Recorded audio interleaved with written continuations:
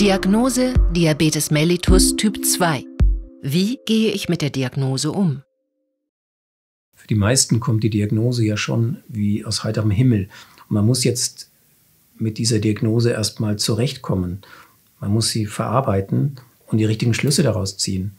Und die richtigen Schlüsse heißt, den Diabetes zu akzeptieren. Wenn in Ihrer Familie noch niemand Diabetes hat, dann ist es sehr sinnvoll, sich mit anderen zu unterhalten, die schon Erfahrung im Umgang mit der Erkrankung haben. Häufig ist es aber so, dass in der eigenen Familie oder in der Verwandtschaft schon auch Menschen sind, die an Diabetes erkrankt sind. Da lohnt sich sicher, sich mal mit denen auszutauschen.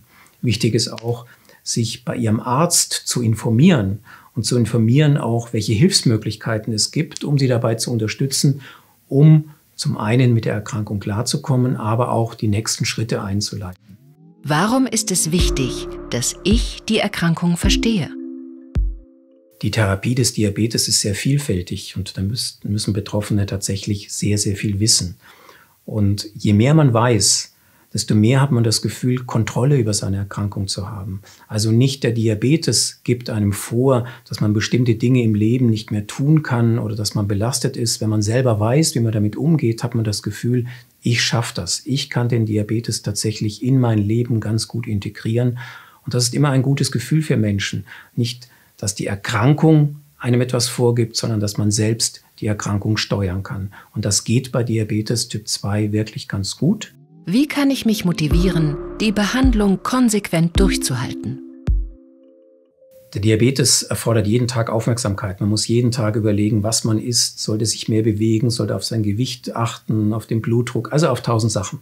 Das ist nicht immer einfach. Hängt doch ein bisschen davon ab, was sonst im Leben noch ist, wie man sich fühlt. Und manchmal hat man auch das Gefühl, ah, jetzt habe ich gar keine Lust, mich so um den Diabetes zu kümmern.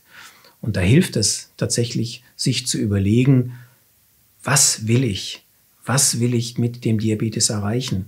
Und das, was Sie wirklich erreichen können, ist Ihre Gesundheit zu erhalten. Um Lebensziele, die ich so habe, auch tatsächlich umzusetzen und nicht durch den Diabetes ausgebremst zu werden.